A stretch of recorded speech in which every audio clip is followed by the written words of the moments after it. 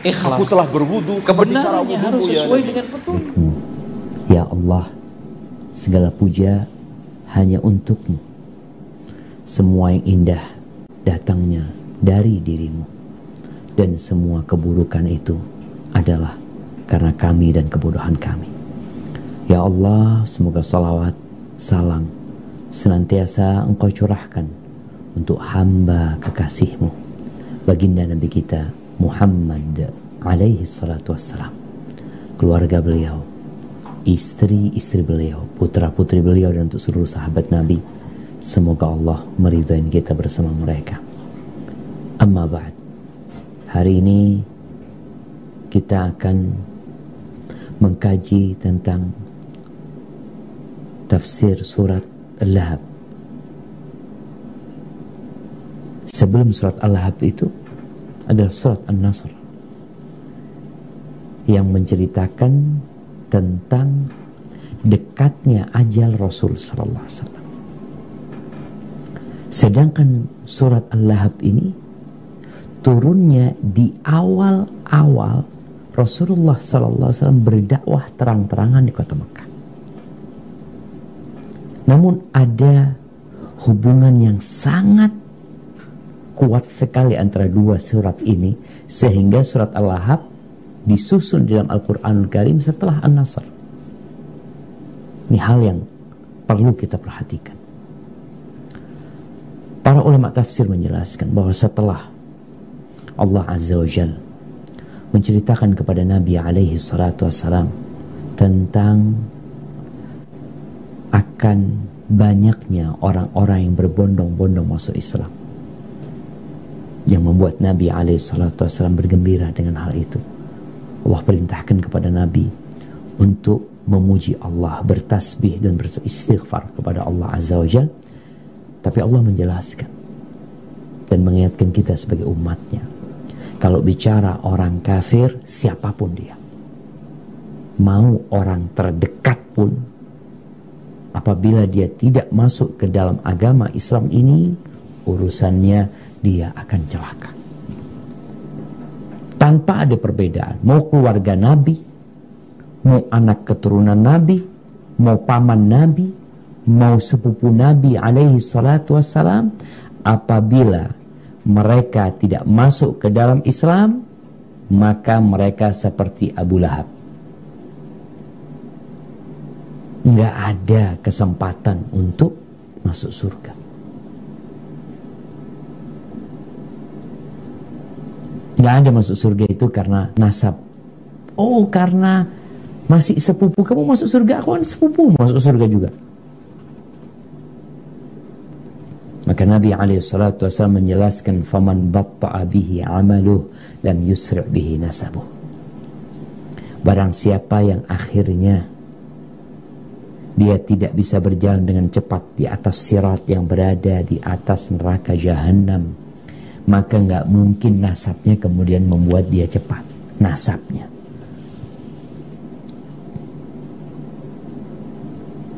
Karena yang menjadi ukuran adalah dinullah, agama Allah. Bukan agama yang dibuat oleh manusia. Di surat An-Nasr, wa ra'aitan nas yadkhuluna fi dinillah. Kau melihat umat manusia berbondong-bondong masuk ke dalam agama Allah, tapi ternyata ada orang-orang yang dekat, yang dekat sekali. Dia tidak masuk. Itu hidayah. Maka di surat Al-Lahab ini pelajaran buat kita. Nasab ternyata nggak ada gunanya. Harta diceritakan oleh Allah bagaimana Abu Lahab nih ya termasuk orang yang sukses, yang kaya raya, yang punya kedudukan, yang punya jabatan, yang terhormat di kota Mekah, orang-orang ya menghormati dan menghargai dia sebagai keturunan Bani Hashim. Tapi ketika tidak masuk Islam, bahkan lebih dari itu, akibatnya tabat siada abi lahabim watab. Baik, silakan dibaca. Bismillah dari dari kitab Lugha dari tafsir menjadi tafsir yang disusun oleh Dr. Abdullah bin Muhammad Al-Syekh. Tafsir surah Al-Masad atau Al-Lahab yang artinya ditolak api Surah ke-111 terdiri dari lima ayat. Surah Makiyah. أعوذ بالله من الشيطان الرجيم بسم الله الرحمن الرحيم تبت يدا أبي لهب وتب ما أغنى عنه ماله وما كسب فيصلى نارا ذات لهب وامرأته حمالة الحطب في جيدها حبل من مسد Binasalah kedua tangan Abu Lahab dan sesungguhnya dia akan binasa. Tidaklah berfaedah kepadanya harta dan bendanya dan apa yang dia usahakan. Kelak dia akan masuk ke dalam api yang bergejolak. Dan begitu pula istrinya pembawa kayu bakar yang di lehernya ada tali dari sabit. Barakallahu fikum. Kalau kita membaca surat ini, ada yang berpendapat, janganlah, jangan dibaca surat ini. Kenapa? Karena akan menyinggung Rasul Sallallahu Alaihi Wasallam. Ini kan cerita tentang pamannya yang masuk neraka yang disiksa. Subhanallah, yang membacakan surat ini kepada para sahabat itu Nabi alaihi salatu wassalam. Memang kalau kita lihat surat ini berbeda dengan yang lainnya. Ketika memberikan jawaban kepada uh, sikap-sikap orang musyrikin Allah menyuruh Nabi SAW Qul katakan kepada mereka. Qul, qul, sampaikan kepada mereka. Tapi ketika berbicara tentang pamannya Nabi tidak diperintahkan oleh Allah untuk mengatakan Qul agar berita ini serta fonis dan hukuman ini datangnya langsung dari Allah. Tanpa Allah menyuruh Nabi mengatakan kul. Sehingga sebagai seorang keponakan, dia kalau dibicarakan mungkin menyinggung pamannya, dia menyampaikan firman Allah. Allah Rabbul Alamin. Jalla Jalaluh ya Sampai dalam ini pun Allah mengajarkan adab buat Nabi alaihi salatu wassalam. Maka bicara membaca surat ini boleh dibaca. Memang kedudukan surat ini mungkin berbeda dengan Qul huwallahu ahad yang setara dengan sepertiga Al-Quranul Karim. Berbeda dengan Qul ya ayyuhal kafirun. Tapi tetap ini salah satu surat dari Al-Quranul Karim yang kita disyariatkan untuk membacanya ketika sholat, ketika tidak sholat, ya dibaca. Tetap satu huruf akan mendapatkan sepuluh kebaikan. Dan perasaanmu jangan sampai engkau dibisikin oleh setan yang kemudian nggak mau membaca surat ini. Karena memang kalau kita tadi baca maknanya aja jelas-jelas isinya informasi dan fonis hukuman buat dia. Dan ini yang diperlukan oleh masyarakat. Tatkala kita melihat banyak tindakan kriminal di masyarakat yang perlu dilakukan oleh pemerintah atau penguasa ya lewat media yang ada adalah menyampaikan kepada mereka informasi yang diperlukan oleh umat dan vonis hukuman yang diterima oleh pelaku kriminal tersebut. Karena kalau sekedar informasi tentang kejahatan dia, tapi hukuman tidak disampaikan, ya tidak akan memberikan efek jerah kepada masyarakat. Bahkan informasi perbuatan jahat dia bisa-bisa menjadi pemicu orang meniru dia. Karena hanya informasi yang disampaikan. Apalagi banyak informasi yang na'udzubillah yang terkadang sama sekali tidak diperlukan oleh umat. Mungkin informasi itu diperlukan oleh penyidik, oleh baris krim, oke, okay, silahkan di sana, tapi publik nggak perlu dikasih informasi yang kadang-kala memang ya ini juga media ya hendaklah berhati-hati. Allah di sini menyebutkan sebuah informasi iya dan hukuman yang diberikan yang diperlukan oleh umat agar mereka berhati-hati. Nah siapa sih Abu Lahab ini? Kalau bicara Abu Lahab ya jelas dia adalah pamannya Nabi alaihi salatu wassalam ya. Mau namanya dia ntar lagi insya Allah kan dibahas di sini. Silahkan dibaca Qala al-mu'allif rahimahullah Imam Al-Bukhari menukil dari Ibnu Abbas radhiyallahu anhu bahwa Nabi Muhammad sallallahu alaihi wasallam pernah pergi ke tanah kapal, lalu lalu beliau mendaki bukit seraya, seraya berseru, wahai sekalian kaum. Sesudah itu orang-orang Quraisy berkumpul mendatangi beliau. Kemudian beliau bersabda, bagaimana menurut kalian jika aku beritahu kalian bahwa musuh akan menyerang kalian pada pagi atau sore hari nanti? Apakah kalian mempercayaiku? Tentu, jawab mereka.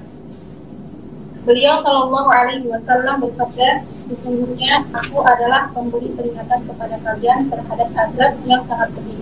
Lalu Abu Lahab berkata, apakah apakah untuk ini kamu kumpulkan kami?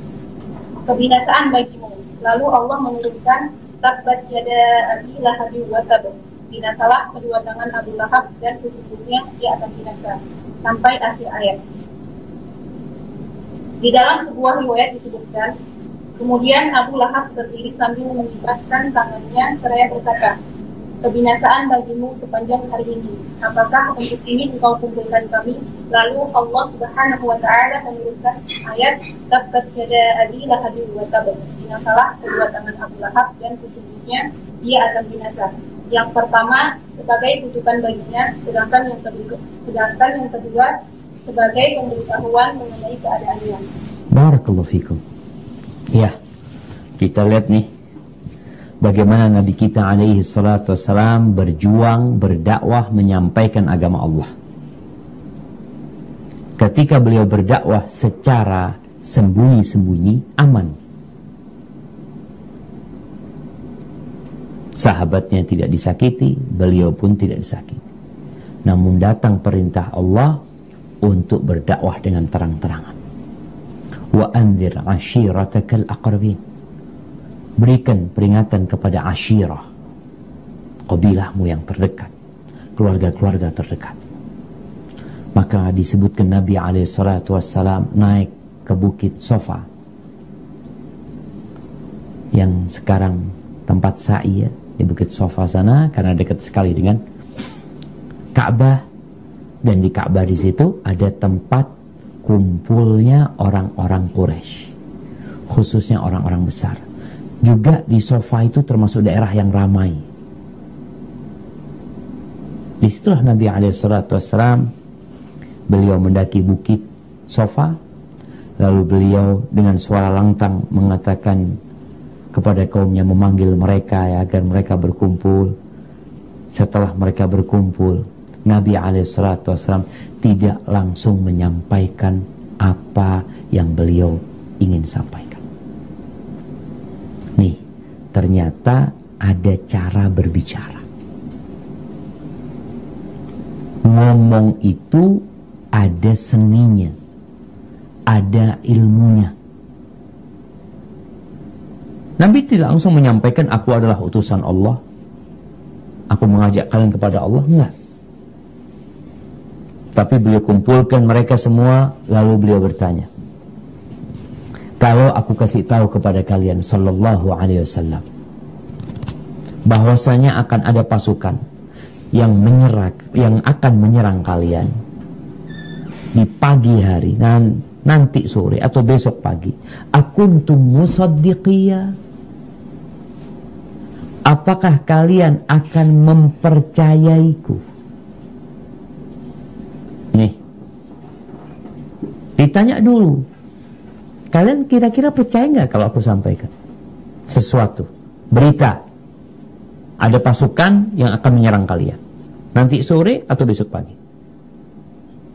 Apa kata kaumnya? Ma jarrabna alaika kadiban. Ma jarrabna alaika kadiban. Itu Abu Lahab juga ngomong. Apalagi Abu Lahab tahu ini keponakan dia. Bagaimana bangganya seorang paman memiliki keponakan yang baik hati. Yang dibanggakan oleh masyarakat. Tentunya sang paman akan mengatakan, Oh fulan, hada anak saudaraku. Ini kemenakanku. Itu fitrah manusia akan bergembira.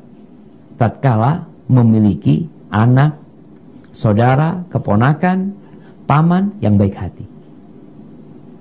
Maka Abu Jahab termasuk yang mengatakan, oh, majarrabna alaika kadhiban. Nggak pernah kita mendapatimu berdosa. Lalu di sinilah, udah selesai. Kalian percayakan aku nggak pernah bohong. Maka di sini Nabi alaihi salatu wassalam menyampaikan bahwa beliau adalah nadhir. Baina yaday adib baina yaday adib baina yaday adabin alim. Aku adalah seorang pemberi peringatan utusan Allah yang memberikan peringatan kepada kalian akan adanya azab yang pedih.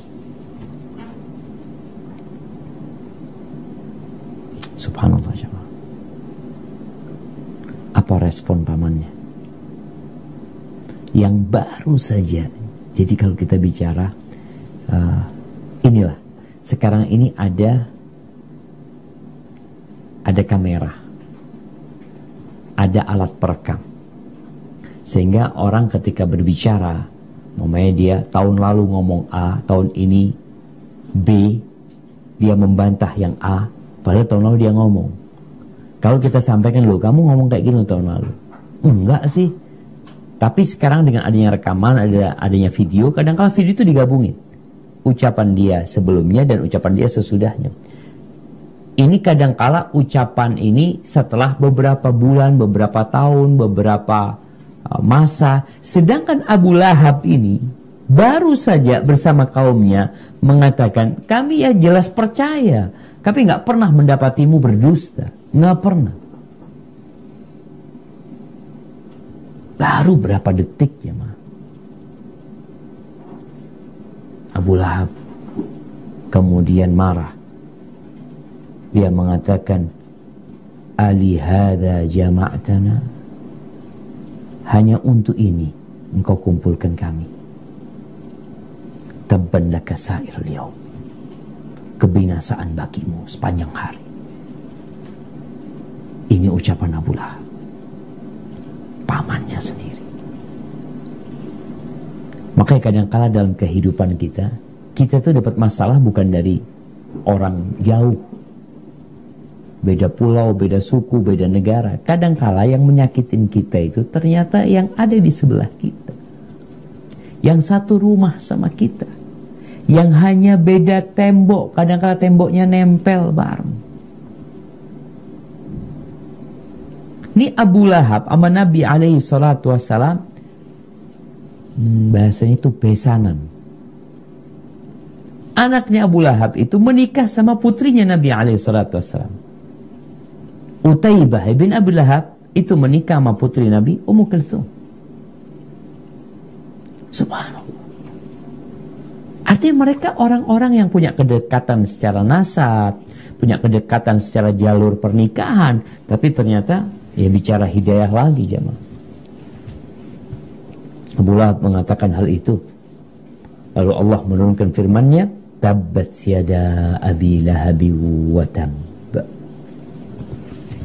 Binasalah kedua tangan Abu Lahab dan sesungguhnya dia akan binasa.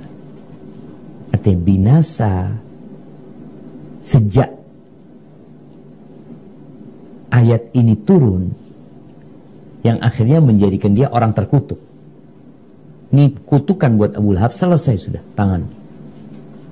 Dan dia akan ini informasi dikutuk dan kasih informasi tentang bagaimana kondisi dia.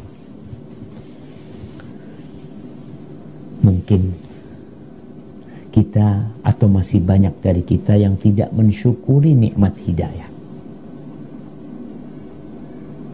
engkau dilahirkan dalam kondisi Islam itu karunia karunia yang besar dari Allah.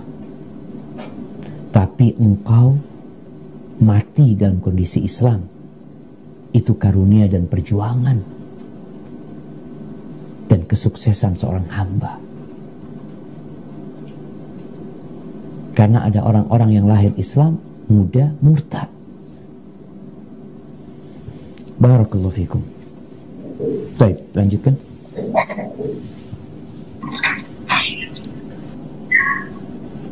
Abu Lahab adalah salah seorang paman Rasulullah Shallallahu Alaihi Wasallam yang nama aslinya adalah Abu Uzza bin Abdul Muthalib. Adapun nama kunyahnya ialah Abu Utaibah. Disebut Abu Lahab karena wajahnya memancarkan cahaya. Dia termasuk orang yang banyak menyakiti, membenci, mencaci maki, serta merendahkan Nabi Shallallahu Alaihi Wasallam dan juga agama beliau. Barakallahu fikum. Nih, namanya Abu Lahab itu Abdul Uzza. Hambanya Uzza, na'udzubillah min dhalika. Makanya kalau punya nama-nama buruk itu dirubah. Apalagi nama itu mengandung ya penyematan diri, penghambaan kepada selain Allah Subhanahu wa taala. Mungkin masih ada yang pakai nama-nama orang-orang Hindu. Maka ketahuilah engkau muslim. Engkau dapat bagian dari namamu. Ini Abdul Uzza. Makanya nggak jadi Abdullah. Akhirnya sampai mati pun dia nggak menyembah Allah SWT. Dia menyekutukan Allah. Nabi kalau dapat nama-nama yang seperti ini dirubah sama Nabi SAW. Namanya Abdul Uzza bin Abdul Muttalib. Kunyahnya dia sebenarnya Abu Utaibah. Tuh tadi yang kita sebutkan. Anak Abu Lahab yang paling besar yang menikah dengan putri Nabi SAW Ummu Kalthum radhiyallahu taala anha. Yang kemudian nanti diceraikan.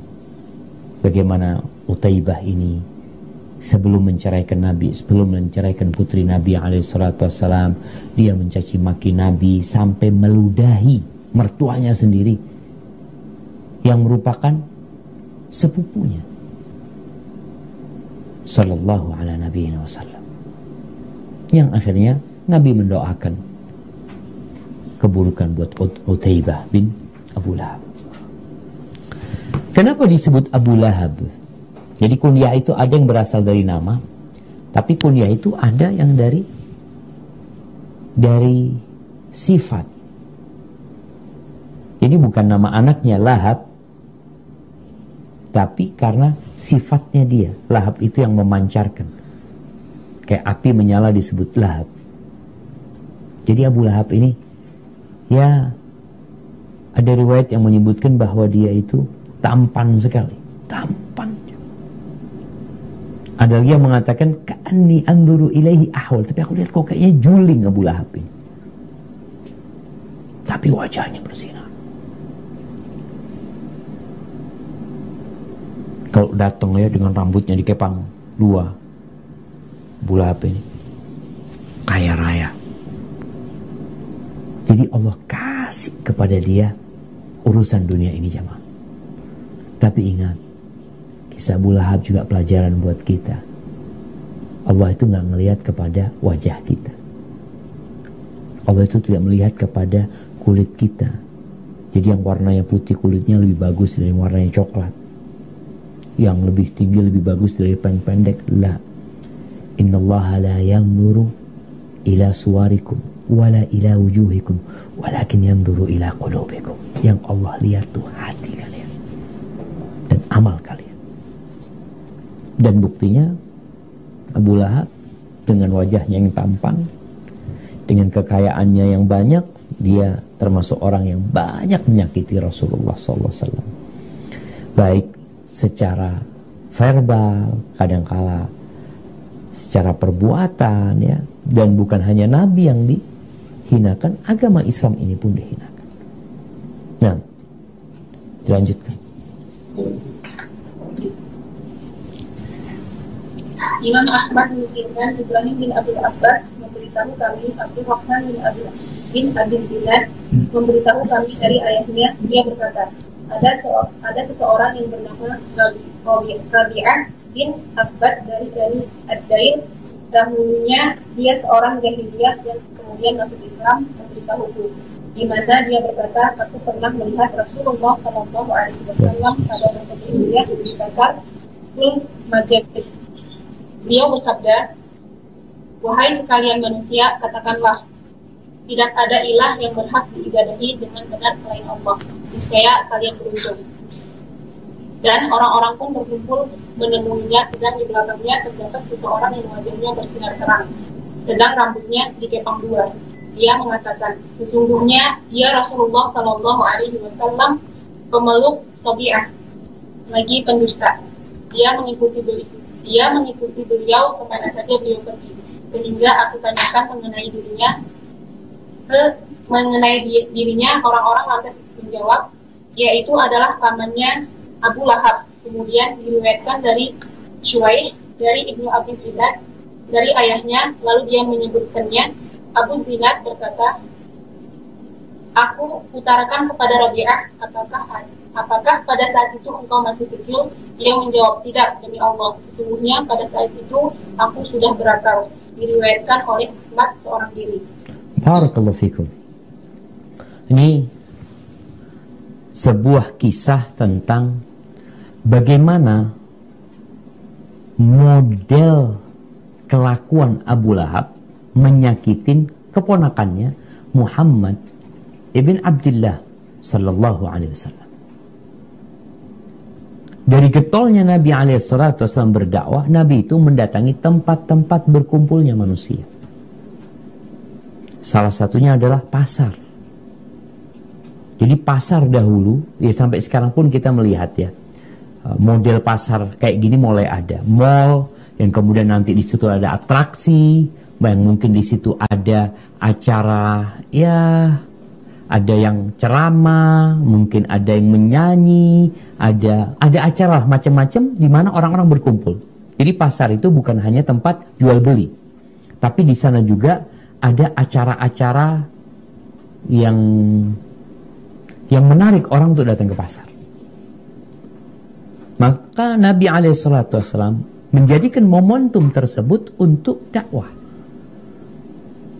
Maka jamaah kita ini berusahalah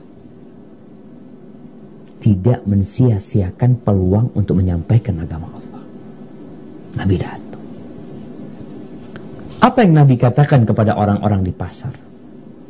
Dakwah Islam ini dakwah yang sederhana. Nabi mengatakan kepada mereka, Ayuhan nas, qulu la ilaha illallah tuflihu. Katakan la ilaha illallah. Tiada ilah, tiada Tuhan yang berhak disembah kecuali hanya Allah. Banyak yang dituhankan. Ingat kita tahu banyak yang dituhankan di muka bumi ini. Yang dianggap oleh pemeluknya Tuhan. Ini ada Tuhan ini, ada Tuhan ini, Tuhan ini. Tapi seorang muslim mengatakan la ilaha, nggak ada Tuhan yang berhak disembah kecuali Allah lainnya adalah sesembahan-sesembahan yang batil. Di Mekah ada banyak sesembahan. Di Ka'bah sendiri ada 360 berhala. Oleh karena itu, orang-orang musyrikin ketika diajak untuk mengatakan la ilaha illallah karena mereka faham, mereka mengerti dengan konsekuensi orang yang berkeyakinan la ilaha illallah yaitu meninggalkan segala sesembahan, meninggalkan segala ketergantungan selain kepada Allah Subhanahu wa taala, maka orang-orang musyrikin mengatakan aja'alal alihata ilaha wahida inna hadza la syai'un ujab apakah dia hendak menjadikan Tuhan yang banyak nih mereka punya Tuhan ini, Tuhan ini, Tuhan ini. Mau jadikan satu cuma Allah yang berhak disembah. Ini perkara yang mengherankan buat mereka. Baik. Apa yang dilakukan Abu Lahab? Seperti yang terjadi di masa sekarang. Ada ustadz berdakwah kadang-kadang datang orang yang mendusta-dustakan nih ustadz mau ah, ustadz seperti ini seperti ini seperti itu. Dan itu terjadi di masa itu Abu Lahab datang. Setelah Nabi menyampaikan kepada mereka, lalu datang Abu Lahab. Di belakangnya, ikut di belakangnya Nabi. Jadi nungguin bukan sebagai bodyguardnya. Nungguin, Nabi ngomong, kasih tahu. Dia itu pendusta. Disebutkan, Minas sabi, huwa sabi ya. Tunggu anak. Ini ada terjemahan yang anak rasa perlu di diperbaiki Bismillah. Nah, Ibnu Kathir rahimahullahu taala mengatakan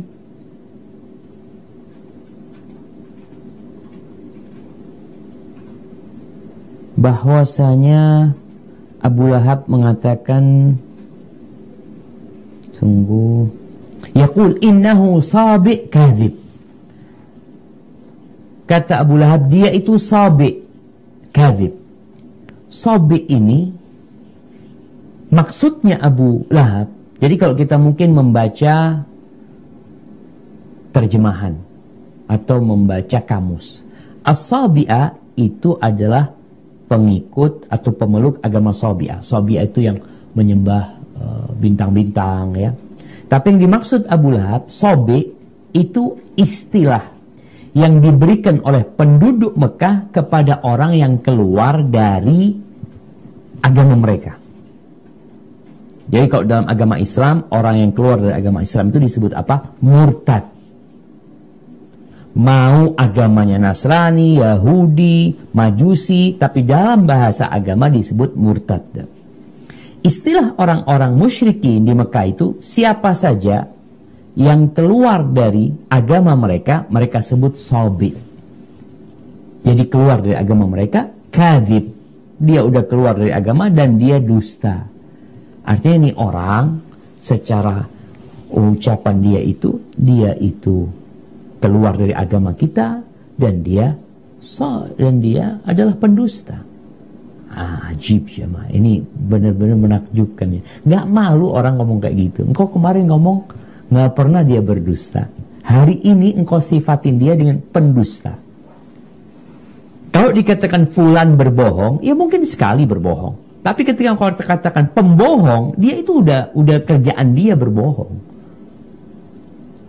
Maka di sini disebutkan perawi hadis ini Rabi'ah bin Abbad ya bagaimana dia melihat kejadian itu. Akhirnya dia masuk Islam. Kalau dalam riwayat ini disebutkan Robiah ditanya, engkau pada waktu itu umur berapa gitu loh? Apa engkau sudah ngerti? Kata dia, aku udah faham. Sehingga hadisnya bisa diterima karena dia sudah bisa memahami kejadian tersebut.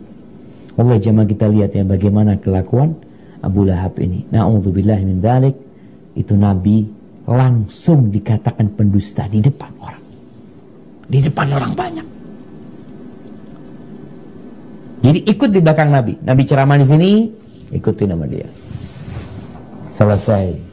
Innahu sabi kadhib.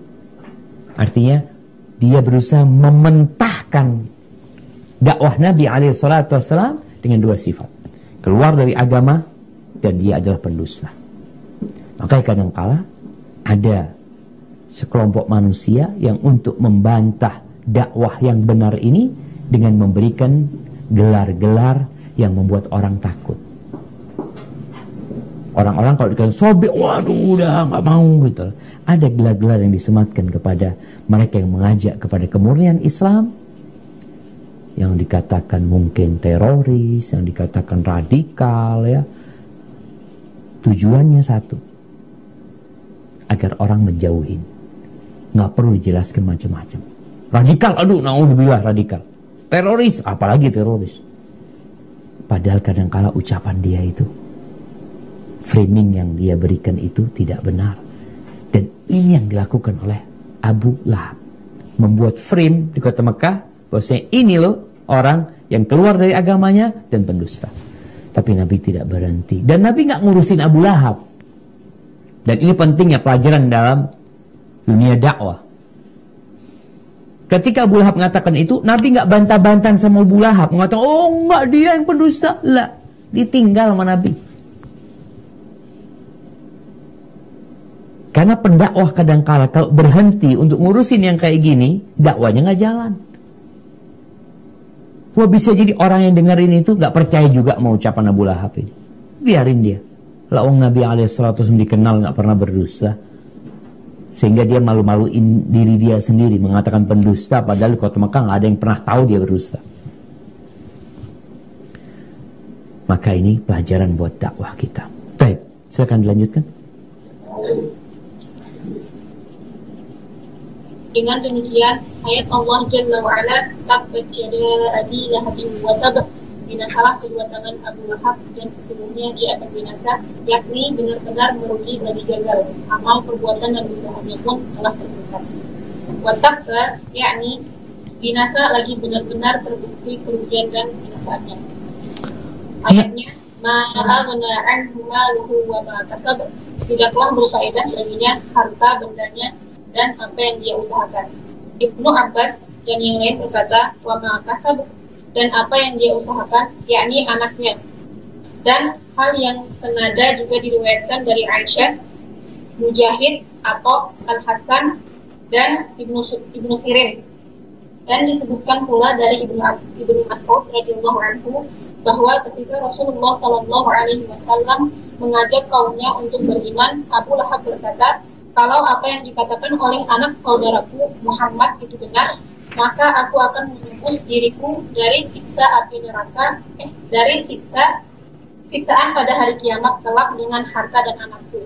Maka maka itu Allah pun menurunkan ma'aghna'an bimaluhu wa ma Tidaklah berfaedah baginya harta bendanya dan apa yang dia usahakan. Barakallahu fikum. Ya jemaah. Kita lihat orang itu kalau difonis di dunia ini difonis 12 tahun penjara tapi banyak fulusnya 2 tahun bisa keluar. Ya kita tahu ada mafia-mafia. Ya bukan mafia sebenarnya ada orang yang suka uang memang. Dia menganggap uang ini sesuatu banget gitu sehingga berulang kali kita mendapatkan kasus di negeri kita atau di negeri yang lainnya mungkin kita contohkan di negeri kita. Ada orang-orang yang seharusnya difonis berpuluh-puluh tahun ya dengan dia punya kedudukan, mungkin dia punya banyak fulus, fonisnya jadi ringan. Makanya kadang-kala ada yang hakimnya ditangkap ya, ada yang sipirnya ditangkap. Banyaklah kejadian itu. Dan Abu Lahab berpikir seperti itu. Dia punya uang kok. Oke, engkau mengutuk aku, engkau mendoakan keburukan buat aku. Aku banyak harta dan aku punya anak. Yang kita tahu anak ini termasuk kebanggaan orang tua. Kekayaan dia nggak ada gunanya, nggak akan menyelamatkan dia. Allah sudah sebuti anak-anaknya nggak bermanfaat. Allah menyebutkan nanti di hari kiamat ya. Yauma la yanfa malun wala banun. Nih, kira-kira seperti itu ayat ini. Hari tidak berguna harta dan anak laki-laki. Nggak berguna. Membelain engkau. Engkau mau punya uang. Berapa sih hartanya Abu Lahab?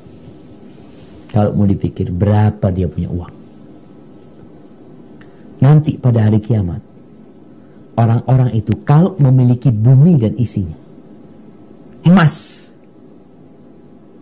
Kemudian mereka ingin menebus diri mereka dengan hal itu.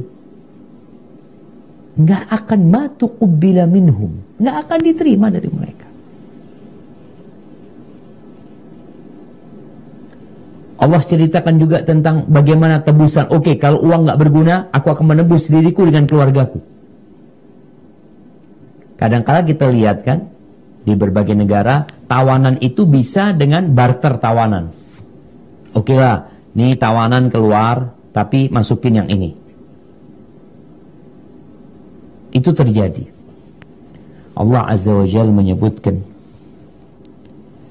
di surat uh, Al-Ma'arij Yawaddul mujrimu yawma idin لو يفتدي يود المجرم لو يفتدي من عذاب يومئذ ببني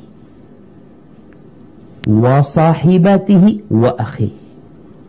Wa fasilatihi allati tu'wi.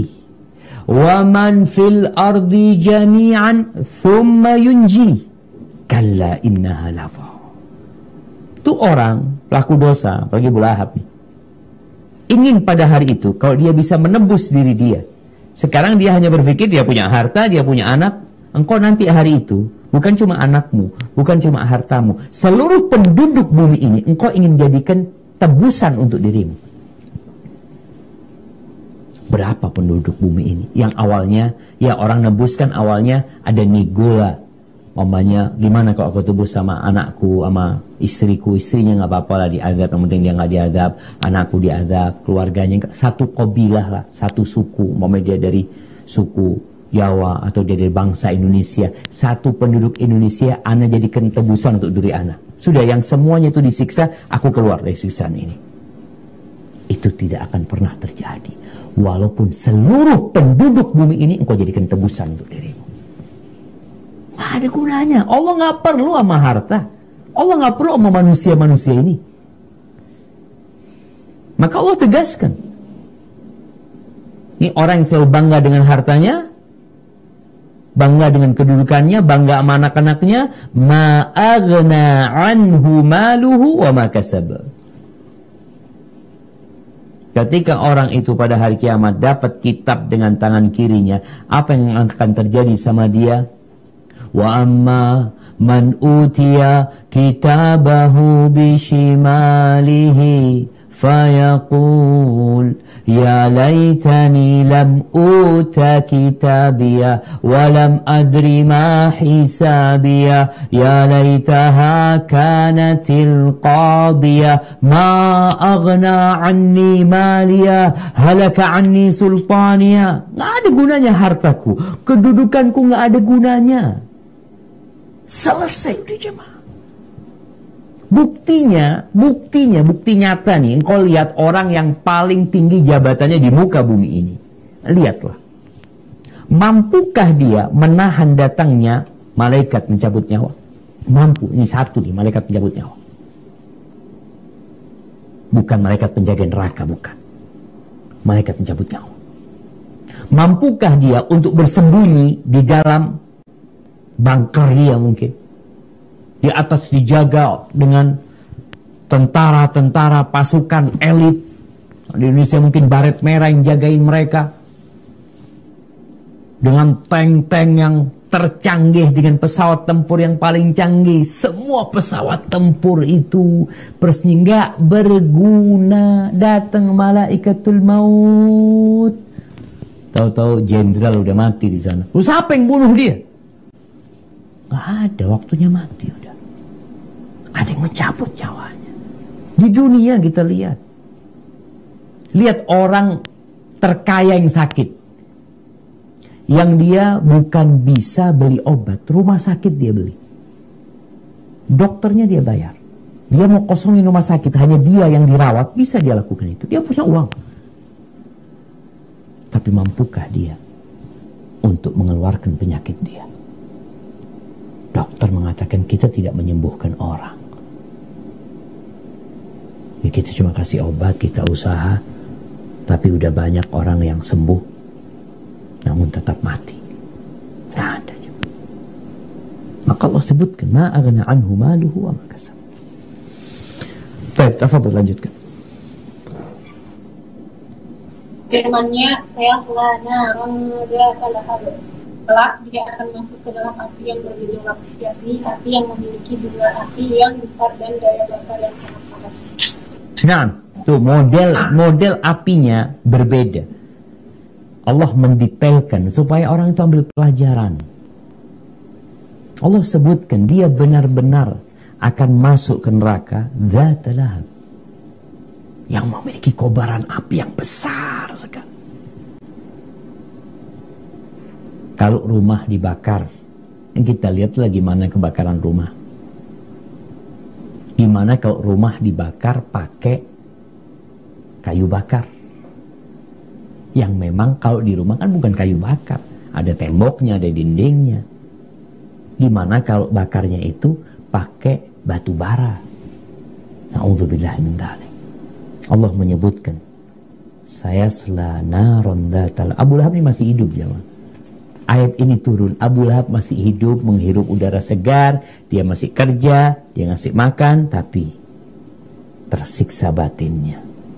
Makanya dia benci banget sama Nabi SAW. Tapi dia nggak bisa berbuat apa.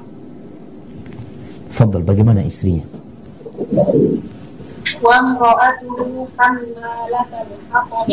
Dan begitu pula istrinya pembawa kayu bakar. Dan istrinya yang termasuk wanita Quraisy terhormat yaitu Ummu Jamil dan nama aslinya Arwa binti Hab bin Umayyah yang tidak lain merupakan saudara perempuan Abu Sufyan. Sungguh dia menjadi pembantu setia suaminya dalam kebutuhan, keingkaran dan perlawanannya terhadap dakwah Islam. Maka itu pada hari kiamat kelak dia akan menjadi pembantu suaminya dalam menjadi dalam menjalani berbagai siksaannya di neraka jahanam. Rahma lakot fiji min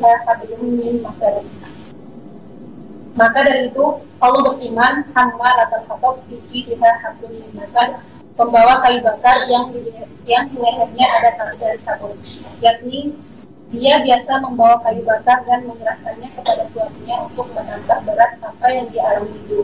Sedang dia senantiasa siap melakukan hal tersebut. Biji belum masad yang di lehernya ada tali dari sabut, Mujahid dan Urwah mengungkapkan dari sabut neraka. Mujahid dikiriman Al-Hasan, Katadat, atau uh, dan uh, Asyubi menjelaskan ayat tersebut karena latar Hakob membawa kayu bakar bahwa istri Abu Lahab biasa berkeliling guna melancarkan adu domba. Pendapat seperti itu pula yang menjadi pilihan Ibu Kirim. Al-Afi meriwayatkan dari Abdullah bin Abbas, Atiyah, Al-Jalal, Al-Jadali, Ad-Dahak, dan Ibnu Zaid, dan Ibnu Zaid, dia biasa mengatakan duri di jalanan yang dilalui Rasulullah Shallallahu Alaihi Wasallam Adapun yang benar adalah pendapat yang pertama Allahu a'lam. Barakallahu fikum. Ini kita lihat bagaimana dua pasangan yang romantis.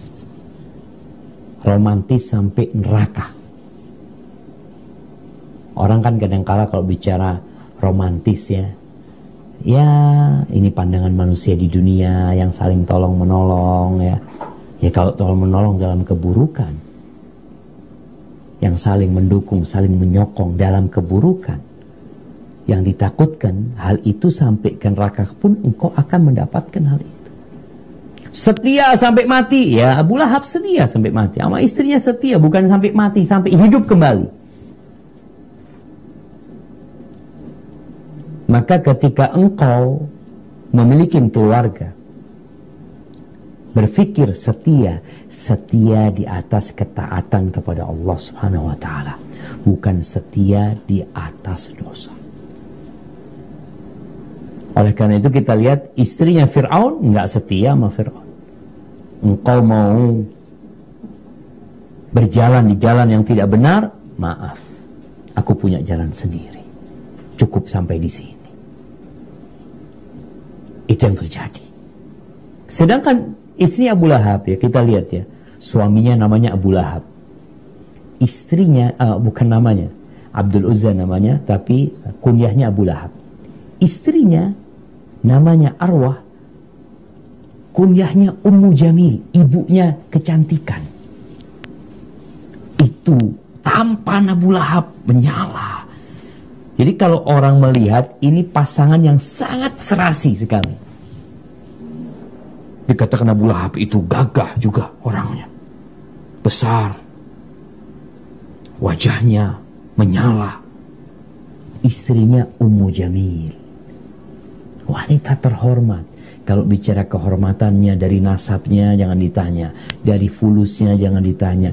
Dari wajahnya yang orang tampan kaya raya gimana istrinya. Sekarang aja kita ngelihat orang nggak tampan ya Kadangkala kita ngelihat ada laki-laki yang secara penampilan ya Allah ya enam lima kadangkala tapi ngelihat bininya masya Allah cantik banget dari mana dia dapat bini kayak gitu dari fulusnya ini Abu Lahab tampan kaya raya Gimana istrinya? Ummu Jamil. Saudarinya Abu Sufyan. Kita tahu Abu Sufyan juga memerangi agama Allah di awal Islam. Jadi dia ini saking romantisnya sama suaminya, dia itu bantuin suaminya dalam menyebarkan kebencian, permusuhan kepada Nabi alaihi salatu wassalam. Ada dua yang disebutkan di sini. Yang pertama, dia keliling guna melancarkan adu domba. Dia karena seperti suaminya. Kalau suaminya karena laki-laki, ikuti Nabi Muhammad SAW ke pasar-pasar. Jalannya Nabi. Ummu Jamil enggak. Ummu Jamil ke mana? Ya ke rumah-rumah, ke sohibnya, hati-hati sama Muhammad, hati-hati sallallahu ala nabi wasallam. Akhirnya, pendapat yang kedua mengatakan dia suka kalau Nabi lewat sana dilemparin duri sama dia dia menyakiti Nabi secara verbal, secara kelakuannya juga. Itu dilakukan. Akhirnya Allah sebutkan suaminya kayak gitu, istri nanti gimana? Allah sebut wa mra'atuhu hammalatal.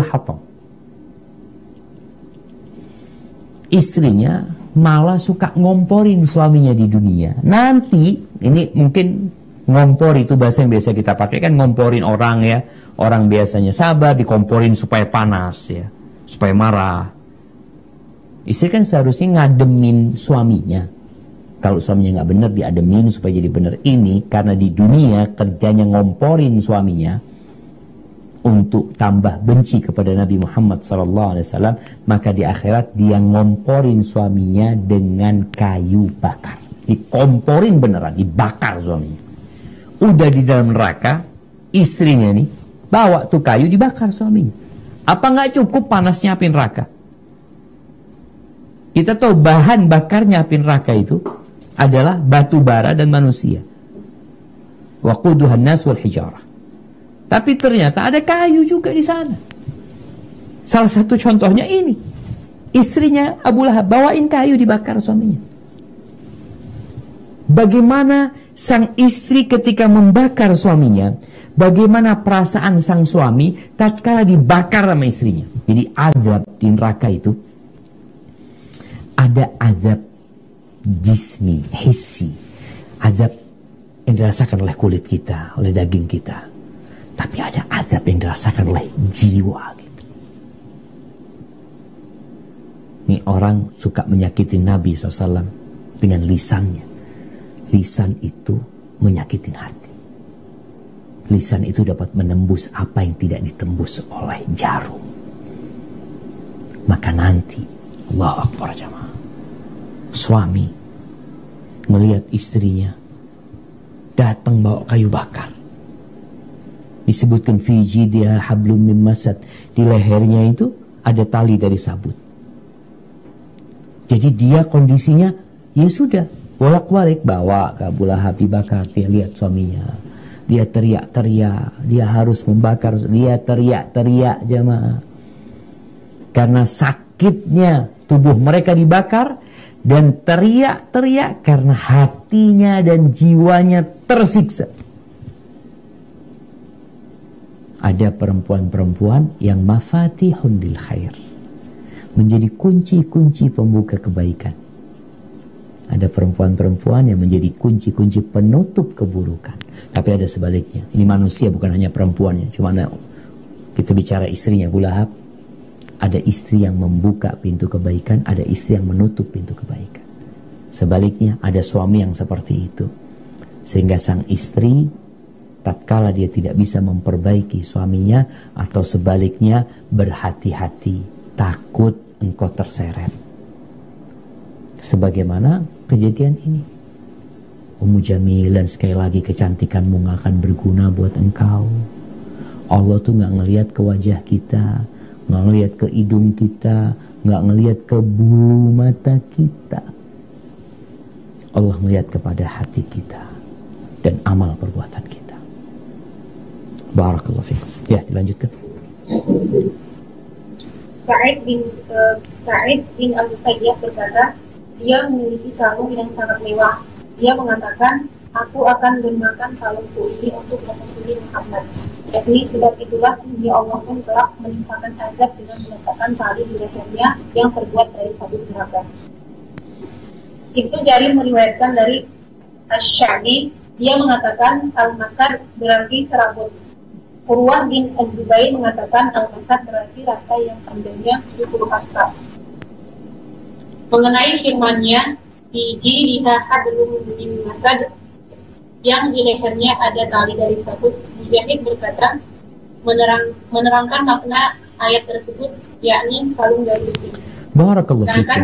Nah, kita lihat nih, mungkin jadi pertanyaan, kenapa kok di lehernya itu ada hablum mim masad.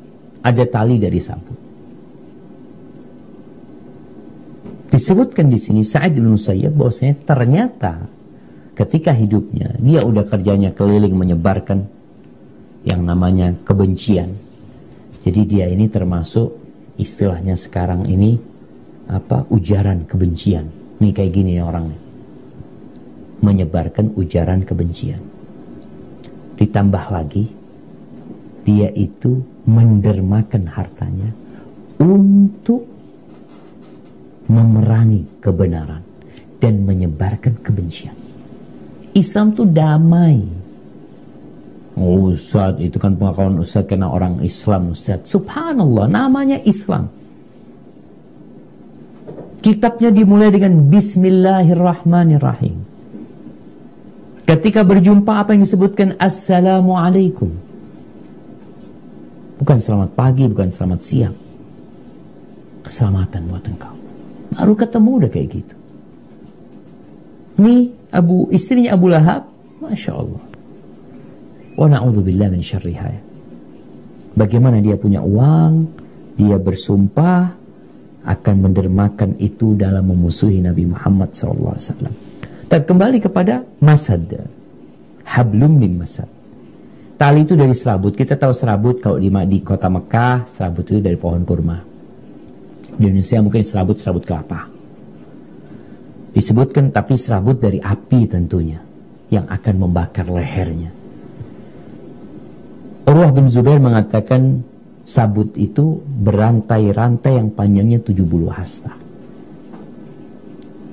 Jadi panjang sekali. Dia membawa itu udah berat mungkin dengan diseret atau dikalungkan di lehernya sehingga menjadi berat dia masih memikul membawa kayu bakar untuk membakar suami. Mujahid menerangkan kayu itu dari besi. Udah di dalam neraka itu semuanya panas mau dari besi mau dari sabut mau kecil mau besar yang tentunya Allah benar-benar murka karena dia menyakitin Nabi Muhammad alaihi salatu wassalam. Tafadhal. Sedangkan Ibnu Abi Hatim pernah meriwayatkan dari Asma binti Abi Bakar, dia berkata, saat turun ayat tabat yada Abi Lahabil Watab, seorang wanita yang buta sebelah matanya, Ibnu Jamil itu harus muncul yang punya kelentingan suara yang sangat tinggi dan di tangannya terdapat, batu yang mengatakan mudah miman abaina. Dia orang yang hina dia orang hina yang kami abaikan. Wadinuhu alaina agamanya kami remehkan. Wa amruhu asaina dan perintahnya pun selalu kami durhakai Ketika itu Rasulullah Shallallahu Alaihi Wasallam duduk di masjid bersama Abu Bakar. Saat melihat istri Abu Lahab, Abu Bakar berkata, Wahai Rasulullah, dia telah muncul, sedang aku khawatir dia akan melihatmu. Maka Rasulullah Shallallahu Alaihi Wasallam bersabda, sesungguhnya dia tidak akan pernah melihatku. Beliau membaca Al-Quran yang beliau pegang teguh sebagaimana firman Allah Azza wa Jal wa idza qara wa idza qara'ta al-Qur'an ja'alna bainaka wa bainal la bil akhirati mastura dan apabila kamu membaca Al-Quran, niscaya kami akan kami adakan antara kamu dan orang-orang yang tidak beriman kepada, kepada kehidupan akhirat suatu dinding yang tertutup. Quran Surah Al-Isra ayat 39. Kemudian dia datang sehingga berhenti di dekat Abu Bakar dan dia tidak melihat Rasulullah Shallallahu Alaihi Wasallam. Lalu dia berkata, wahai Abu Bakar, sesungguhnya aku diberitahu bahwa sahabatmu sudah mencaciku. Abu Bakar menjawab, tidak, demi pemelihara rumah ini, dia tidak mencacinya. Kemudian wanita ini segera berpaling dari situ seraya mengatakan dengan sombong, kaum Quraisy telah mengetahui bahwa aku adalah anak perempuan pemukanya. Barakallahu fikum. Taib jemaah.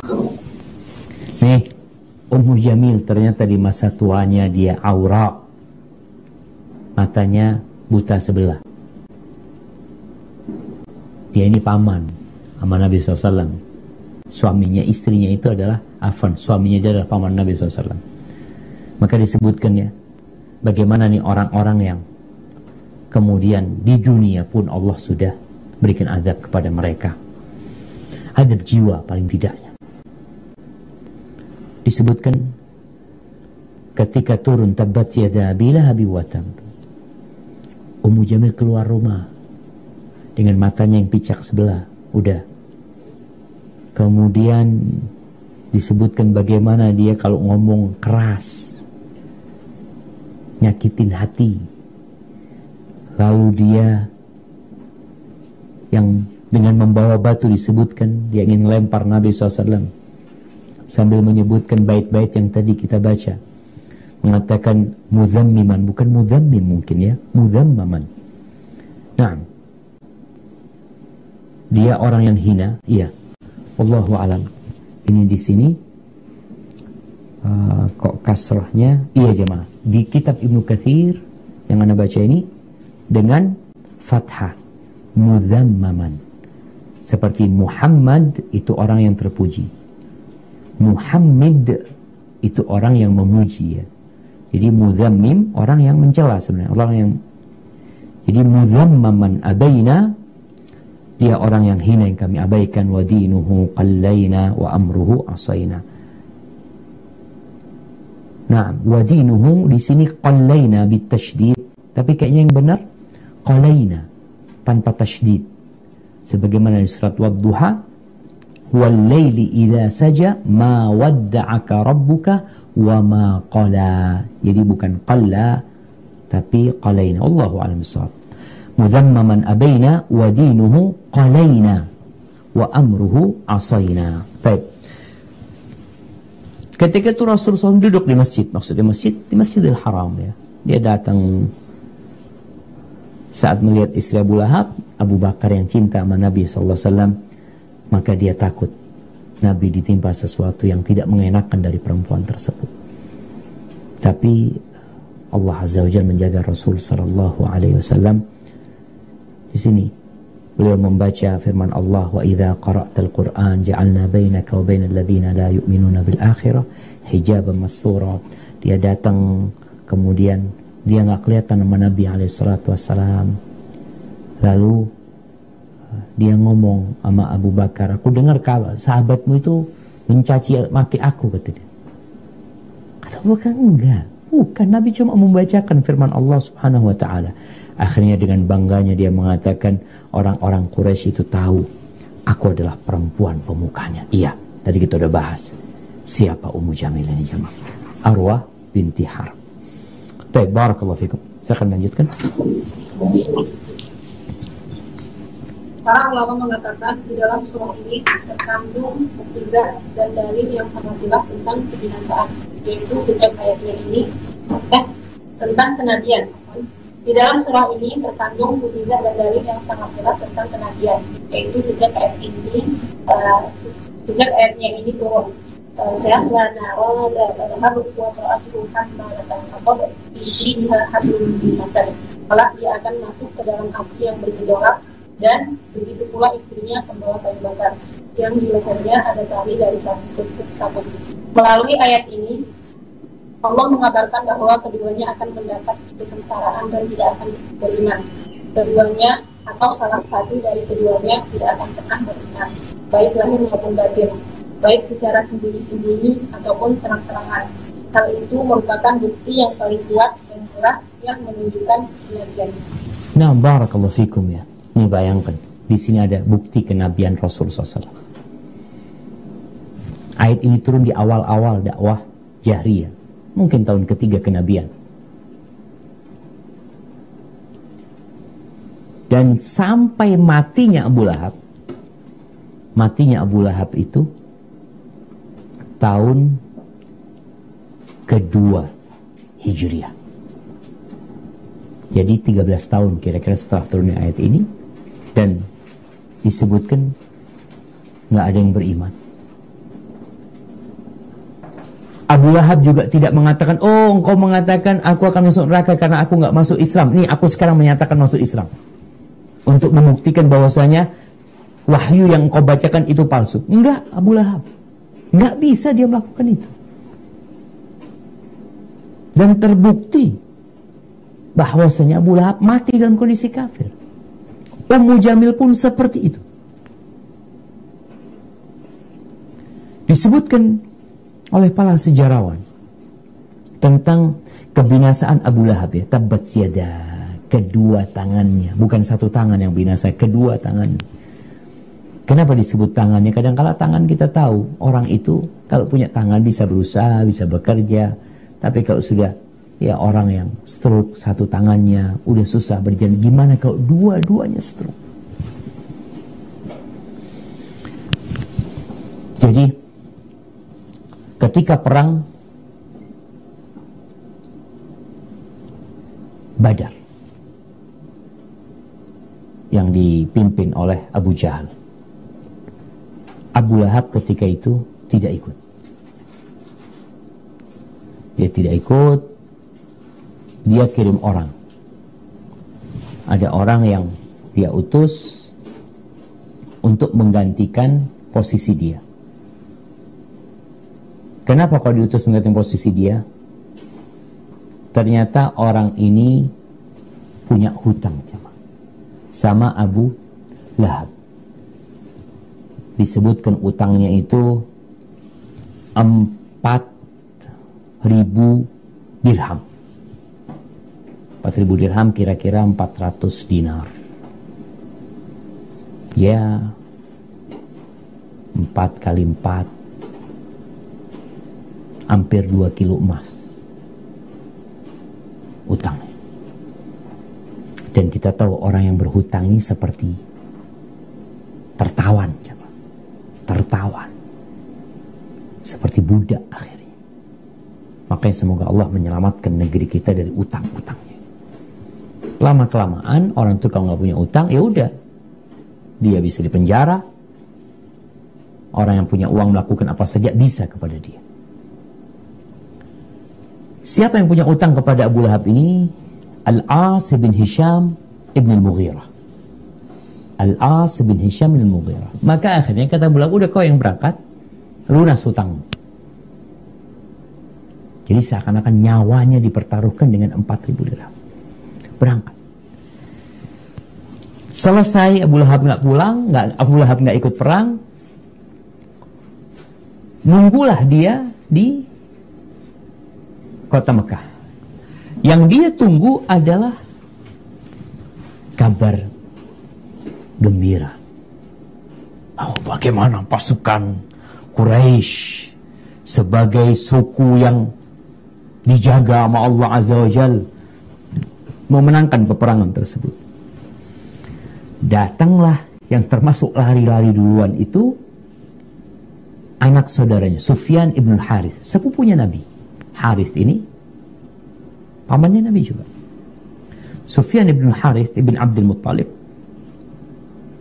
ditanya sama Abu Jahal Halumma yabna akhi fa'indak Ay, gimana beritanya? Apa ini? Informasinya ini? Faqala na'am Iya, engkau mau berita ya Fawallahi ma huwa illa an laqinahum famanahnahum aktafana yaftilunana kaifa sya'u wa ya'sirunana kaifa sya'u Engkau tahu kita berjumpa sama mereka, kita ini seakan-akan menyerahkan leher kita, tangan kita sama mereka, mereka ngikat kita semau mereka. Kita nggak bisa berbuat apa-apa. Wa ya'si kaifa wa ma'a wallah. Dan lagi ya, yang lebih menakutkan lagi, kita itu melihat ada orang-orang yang di antara langit dan bumi yang naik kuda-kuda. Yang dengan mudah mereka menebas, menghabiskan kita. Nggak ada yang mampu melawan mereka. Di situ ada budaknya Abbas. Abbas ini paman Nabi. Abbas ini saudaranya Abu Lahab. Di situ ada budaknya Abu Lahab. Kayaknya ini mungkin di rumah keluarga sana. Di situ ada budaknya Abbas bin Abdul Muttalib, Abu Rafiq namanya. Dia sedang duduk, ya sedang menajamkan anak panah dengar cerita itu, ya dia nggak dengar. Dia itu udah muslim, kan memang keluarga Abbas ini menyimpan keislaman mereka. Katanya Abu Rafiq ketika ngomong itu, Harith, uh, siapa namanya Abu Sufyan bin Harith ceritakan ada yang naik kuda putih dari langit ya. Apa katanya? Abu Rafiq mengatakan, aku nggak bisa nyimpen kegembiraanku Allah kamu tilka wallahil malaika itu malaikat itu namanya kata dia. Padahal tahu Abu Lahab ini kafir. Akhirnya Abu Lahab mukulin ini budak ya dengan pukulan yang aduh pokoknya diusaha berusaha ditahan-tahan sama Abu Rafiq gak mampu kemudian datanglah Ummul Fadl istrinya Abbas datang di situ ada uh, ada tongkat yang buat nyanggah mungkin tenda diambil dipukul ini Abu Lahab oleh Ummu Fadl. Oh, engkau pukulin dia ya karena dia lemah dan majikannya nggak ada di sini kata dia. Kabur akhirnya Abu Lahab. Itu jamaah. Tujuh hari setelah kejadian itu Abu Lahab terkena penyakit seperti cacar. Seperti cacar akhirnya dia mati. Jadi ada orang mati karena peperangan, tapi Abu Lahab matinya lebih tersiksa. Ketika orang mati dengan ditebas pedangnya selesai, cepat sekali nyawa itu keluar. Tapi ketika dia mati dengan penyakitnya, ini termasuk wabah yang menakutkan. Akhirnya ketika Abu Lahab mati, orang-orang nggak ada yang berani memakamkan dia. Disewalah orang-orang Sudan, orang-orang uh, kulit hitam itu untuk menguburkan Abu Lahab. Gimana ngubur Abu Lahab? Jadi udah karena besar Abu Lahab orangnya ya. Akhirnya digalilah lubang. Mereka gali lubang yang besar dan Abu Lahab tidak diangkat tapi mereka membawa kayu yang panjang itu didorong-dorong sama orang-orang jamaah. Jadi menggelinding, menggelinding, menggelinding sampai ke dalam lubang besar tersebut. Kemudian dikubur biasa enggak, dilemparin batu sama orang-orang di dunia. Dan sampai hari kiamat pun sebelum dia masuk neraka dia akan terus disiksa. Na'udzubillah gimana keluarganya, gimana Ummu Jamil melihat suaminya seperti itu dan nggak masuk Islam juga jemaah. Itulah hidayah. Maka kita memohon kepada Allah agar ditetapkan di atas agamanya ini. Hada wallahu a'lam bisawab. Mungkin itu yang bisa kita kaji pada kesempatan kali ini yang berkaitan dengan surat Al-Masad ini. Kalau ada pertanyaan masih ada waktu, tafadhol.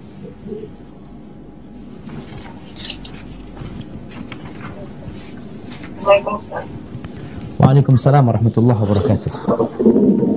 Ustaz, uh, apa menunjukkan untuk semakin apa Nurayah ini apa dengan menikahi uh, dua anak dua anaknya Nabi yang bercerai dari Abu Lahab ada anaknya Abu Lahab. Siap. Iya berkaitan dengan mana tadi putrinya putranya Abu Lahab itu ada Utaibah ibn Abi Lahab dan ada Utbah disebutkan bahwasanya si tunggu yang mati dalam kondisi kafir yang dimakan oleh singa itu Utbah ibn Utaibah ibn Abu Lahab. Anak kok jadi nggak nyambung. Pertanyaannya apa umur dia? Apakah uh, julukan Zunurain untuk Utsman bin Affan itu uh, karena menikahi dua, dua anak Nabi yang bercerai dari Abu Lahab, dari anaknya Abu Lahab? Naam, oh Dzunurain. Naam, naam, sahih. Mana jadi iya, Dzunurain. Uthman bin Affan menikahi uh, yang pertama adalah Ummu Kalthum, yang kedua Ruqayyah. Iya, betul. Sehingga dia digelari uh, Dzunurain ya.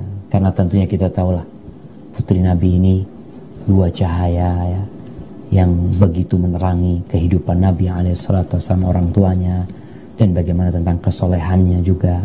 Iya betul seperti itu. Cuma anak tadi mau nyebutin tentang keluarga Abu Lahab ya.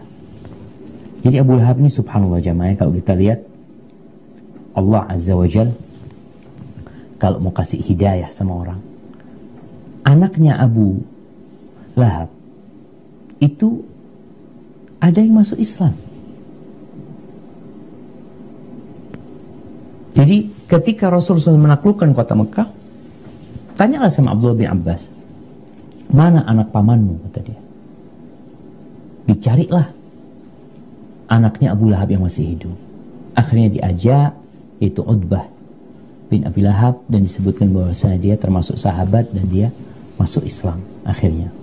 Jadi, Allah Akbar jamaah. Allah itu yukhrijul hayya minal mayyit. Wa yukhrijul mayyita minal hayy. Allah mengeluarkan yang hidup dari yang mati.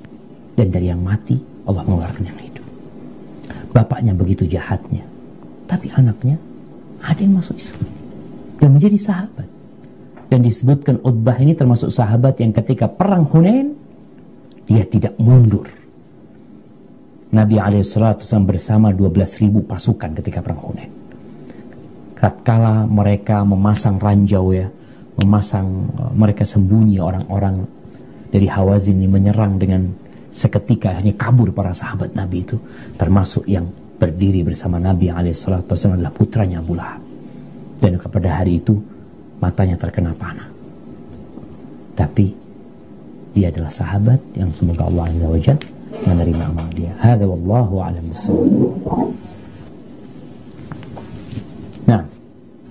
Ada tiga pertanyaan apa yang harus apa yang harus Anda lakukan jika Anda sering diteror dengan istri ipar anak, uh, diteror melalui Facebook, uh, Anda diteror sudah berkali-kali, uh, tadinya Anda mau melapor ke pihak berwenang, tapi selalu saja ada kendala, apa yang harus Anda lakukan?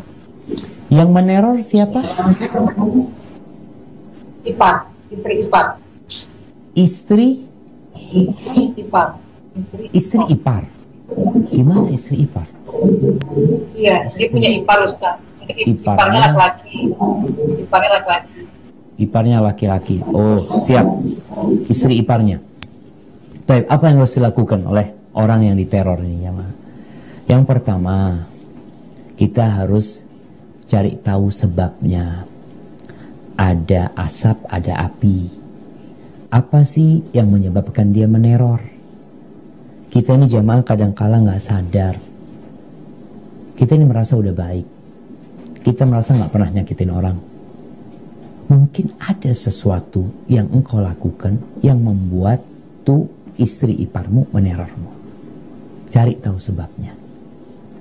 Sebagaimana kita tahu ucapan Umar bin Khattab radhiyallahu anhu, rahimallahu ra'an ahda ilaina uyubana. Semoga Allah merahmatin orang-orang yang menghadiahkan buat kami kekurangan-kekurangan kami. Tanya baik-baik. Karena sejatinya manusia itu dari bahan dasar yang baik. Sampai-sampai Allah mengatakan idfa billati ahsan.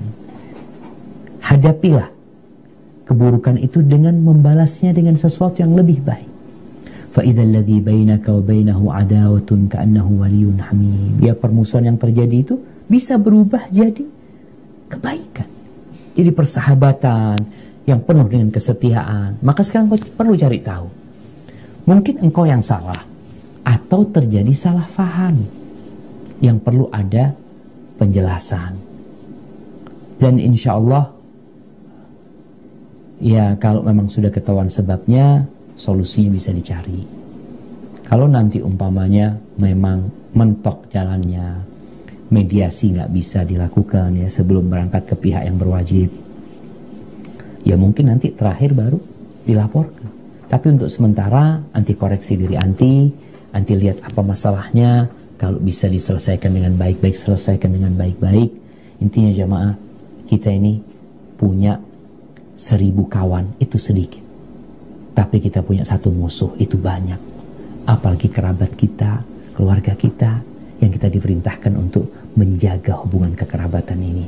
Ya paling tidak ada ukhuwah Islamiyah yang harus dijaga. Hada wallahu a'lam bishawab. Ustaz, uh, manakah pahala yang lebih afdol untuk uh, berkorban atau mungkin sedekah Ustaz? Berkurban atau sedekah yayasan? Bersedekah. Ahibatifillah. Kita tahu. Jadi ada hal-hal yang sebenarnya tidak bertentangan ada hal-hal yang tidak perlu kita kemudian memilih. Karena bisa dikerjakan dua-duanya. Kalau uca, bicara sedekah, sepanjang tahun engkau bisa bersedekah. Sepanjang tahun. Sepanjang hari. Sepanjang bulan apa pun engkau bisa bersedekah. Tapi ada musim-musim yang memang sedekah lebih utama di waktu tersebut. Tapi kalau kurban, kurban ini ibadah yang spesial yang waktunya terbatas. Yang kita tahu Allah mengatakan kepada Nabi alaihi salatu wassalam, "Fasalli li rabbika wanhar." Perintah langsung. Kita tahu bagaimana Nabi Ibrahim alaihissalam menyembelih dan sunnah Nabi Ibrahim alaihissalam. Jadi sebenarnya kalau ditanyakan mana yang lebih utama, secara umum Dua-duanya utama ketika kita laksanakan di waktu yang tepat. Ketika kita bertanya, mana yang lebih utama? Membaca Al-Quran atau menjawab azan? Ketika engkau di waktu azan dikumandangkan, jawab azan. Ustaz, Quran ini satu huruf sepuluh, Ustaz. Satu ayat seperti berkorban satu ekor onta yang besar. Azan apa, Ustaz? Sekarang kondisinya, kalau engkau baca Quran, engkau bisa baca Quran kapan saja. Menjawab adzan, waktunya terbatas. Maka kalau kondisinya, engkau lagi dengar adzan, ya jawab adzan. Adapun tadi kurban sama sodako buat yayasan, mungkin nanti akan ada kondisi-kondisi yang membuat sodako lebih utama. Enggak Ustaz, ini memang diperlukan sekali. Kalau enggak akan seperti ini, seperti ini. Oh, kalau memang mendesak, nanti bisa di ditentukan mana yang lebih utama. Tapi kalau tidak mendesak, ya engkau bisa sodakoh kapan aja. Tapi kalau bicara kurban, enggak aja. Waktunya terbatas. Ketika dia pergi, selesai. Dan kita tahu kurban laksanakan di hari-hari terbaik sepanjang masa. Hada wallahu a'lam nah. Jadi boleh uh, berkurban kamu meninggal Afan suaranya boleh meninggal untuk uh, pahalanya untuk ya apa boleh kurban untuk pahala yang meninggal ya Ustaz? Boleh, boleh. Ada kurban itu dengan niat yang meninggal dunia. Anak ini kok jadi nggak nyambung? Tadi pertanyaannya apa? Antara kurban sama sodako atau buat orang yang meninggal? Rahimahullah Ustaz. Jadi atas nama yang meninggal Ustaz. Bo boleh. Artinya sebenarnya kurban itu juga babnya bab sodakoh. Babnya itu tahu cuma ada kekhususan di sana yaitu menyembelih. Memang para ulama mengatakan ketika kita menyembelih kurban bukan hanya untuk sodakoh. Karena kita mau sodakoh dengan satu kilo dagingnya nggak apa-apa. Yang itu kita makan. Boleh. Syaratnya tetap harus ada yang disodakohin. Diberikan kepada fakir miskin. Agar sah kurban kita. Akan tetapi ibadah kurban ini bukan kita potong satu semua disodokain. Dianjurkan kita makan. Mau nyimpen boleh disimpan. Untuk bicara kurban. Sedangkan sodako, ya sodako lah kepada orang. Jadi boleh kalau dikatakan mana yang lebih utama, lihat kondisi juga. Mungkin bisa menetapkan hal itu. Kalau memang di musim kurban ya, kita mau kurban buat orang yang meninggal dunia, masuknya babnya bab sodako nantinya. Namun ada kekhususan sendiri di kurban ini. Hada wallahu a'lam uh, apakah dari ini Rohim siapa yang membaca Qul sampai yang merampungkannya sebanyak 10 kali, maka akan dibangunkan baginya rumah surga. Barang siapa yang membaca? Ahad, surat Al-Ikhlas Ustaz. 10 kali. Yang merampungkannya 10 kali, maka akan dibangunkan baginya rumah di surga. Barakallahu fikum. Nah, hadis ini diperselisihkan oleh para ulama kesahihannya. Syekh Albani rahimahullahu taala termasuk yang pernah mensahihkan hadis itu kemudian beliau rujuk. Beliau rujuk tidak mensahihkan tapi awalnya beliau mensahihkan hadis tersebut. Jadi memang kalau kita lihat ada uh, hadis-hadis yang diperselisihkan kesahihannya. Namun kita tahu bab fadailul a'mal, bab tentang keutamaan-keutamaan amalan ini berbeda dengan bab hukum, berbeda dengan bab akidah sehingga kita akan mendapati tidak sedikit ulama yang berpendapat bolehnya mengamalkan hadis baik dalam fadailul amal dengan beberapa catatan. Kalau kita lihat tentang qul ahad, Jelas keutamaan kul ahad. Disyariatkan baca kul jelas tiap hari kita habis sholat disuruh baca, pagi dan petang baca, sebelum tidur baca, kita tahu dia sepertiga Al-Quranul Karim. Artinya tanpa fadilah itu yang tadi disebutkan dalam hadis kita membacanya. Sehingga fadilah ini untuk menguatkan atau mendorong orang untuk membacanya, insya Allah nggak masalah. Artinya dia berharap kepada Allah Subhanahu Wa Taala. Tapi ingat ketika hadisnya memang diperselisihkan, kita jelaskan kepada umat sehingga dia tidak memastikan itu sabda Nabi Alaihissalam ya. Kalau mungkin dulu anda pernah bahas di kitab uh, membangun rumahku masih ngontrak, di situ memang mungkin dinukil tentang pendapat Syekh Albani yang mensahihkan hadis tersebut. Tapi itu termasuk hadis yang kalau nggak salah beliau tarajuk tentang mensahihkannya. Hada wallahu a'lam Baik, mungkin pertanyaan terakhir Mulia. Apakah terlarang jika kita mendengarkan kajian sambil bekerja di kantor, seperti yang saya lakukan saat ini sedang bekerja dan mendengarkan kajian? Baik, uh, ini sambil ngantor dengarkan kajian. Ya, iya. Yang ditanyakan hukum agamanya berkaitan dengan ngantornya dia atau ngaji sambil kerja. Ya, Ustaz. Baik, ini ada dua permasalahan. Permasalahan pertama, bolehkah kita sedang beraktivitas sambil dengerin kajian, sambil dengerin Quran? Atau dengerin hal-hal yang lainnya yang bermanfaat buat kita. Sejatinya apabila engkau dapat mengambil manfaat bisa menggabungkan ada aktivitas yang memang tidak perlu akalmu.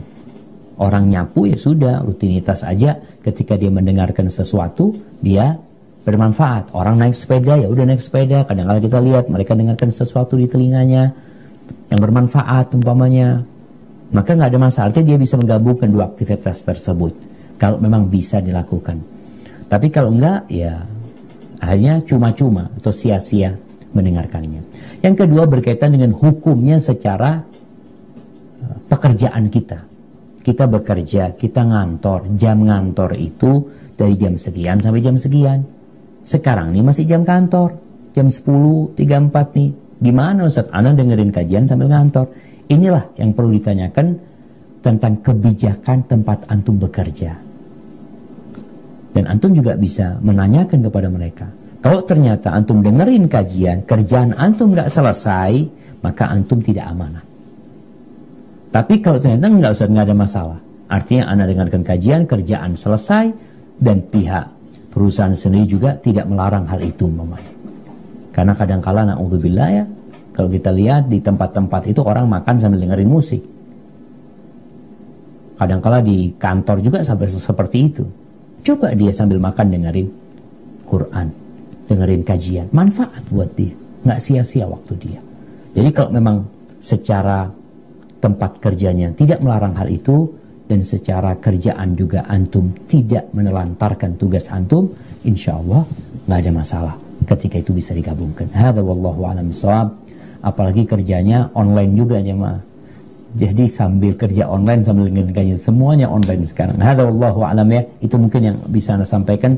Kurang lebihnya Anda mohon maaf. Subhanakallahumma bihamdika asyhadu an la ilaha illa anta astaghfiruka wa atubu ilaik. Assalamualaikum warahmatullahi wabarakatuh.